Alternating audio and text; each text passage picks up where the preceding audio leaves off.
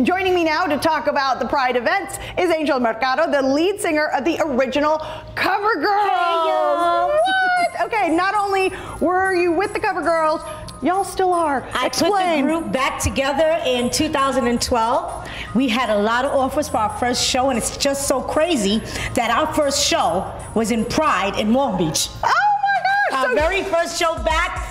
Thousands and thousands of people came out to see us, and we had an amazing time. And I hope thousands and thousands of people come out tonight. I mean, tomorrow night to see us. And here's the thing: is that you have brought the celebration to San Antonio. Tell us why. Absolutely.